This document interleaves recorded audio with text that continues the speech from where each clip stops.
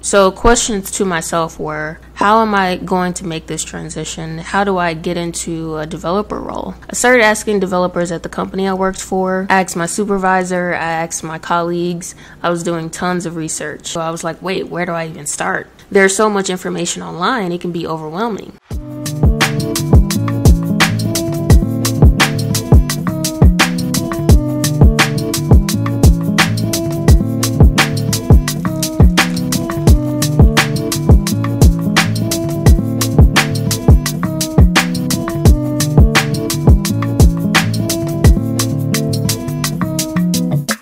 Hey everyone, welcome back to Jashele Tech TV. If you're new to the channel, my name is Jashele, and this channel is all about sharing my tech journey. So, in this video, I'm going to be talking about my transition from tech support call center to developer. Also, like and subscribe if you're interested in this kind of content, as well as interested in following my tech journey. So, a couple of years ago, I was working in tech support for a software company. I basically talked to customers all day and helped them troubleshoot any problems that they had with the software. If you're interested interested in knowing what this is truly like, you can find a lot of videos right here on YouTube about what it's like working in a call center.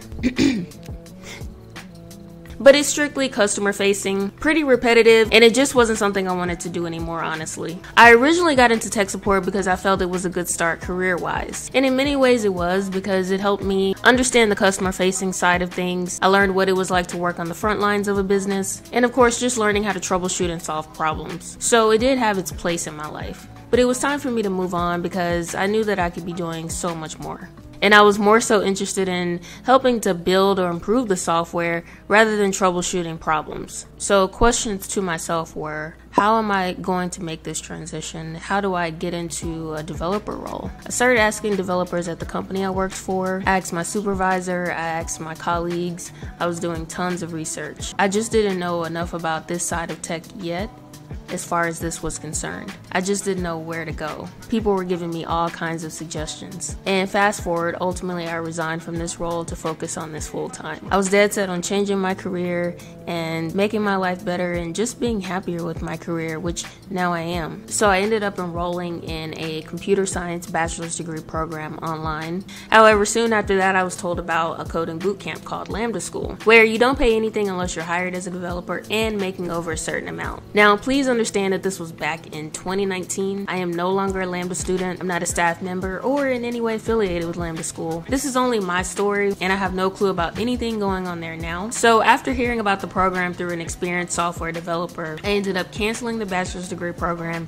and did the boot camp instead. The boot camp was a lot shorter than going back for the degree would have been. Plus, you dive right in, start building practical development projects, and learn exactly what you need to land a job in the industry. I built up a lot of knowledge very, very fast. And metaphorically speaking, I was eating, sleeping, breathing code. I learned front end and back end development and how to actually apply technologies to build a full stack application, how to collaborate across different teams, for example, with UX designers and data scientists. I learned about version control and the command line. I became a team lead, so I learned how to manage projects and lead a team.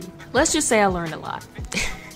It definitely gave me the skills I needed to start working as a developer. And I got a job before I actually completed the program because I started applying for jobs after I learned how to completely build a full stack application and after I felt more confident in the modern technologies that I was learning. And when I was no longer intimidated by new technologies because that's pretty much what this career is. Always new stuff, it's always changing. After that, I just continued to learn on the job and doing self teaching. And of course, additional schooling or formal education is always an option. Attending a boot camp absolutely helped to give me the support and structure I needed when I was entering this industry. There was a curriculum review of your projects, career coaches, team leads, there was accountability. At least that was my experience. But once I got that foundation and I started working full time, I'm totally confident now in self teaching because I understand everything overall. I can lead myself more. Whereas two years ago, I was like, wait, where do I even start? There's so much information online, it can be overwhelming. Even though I already knew how to build websites, it wasn't on the level of what I know now. It was more like a thing I knew how to do, but I didn't know like best practices or just the whole professional side of development. But I didn't want to start out self teaching blindly,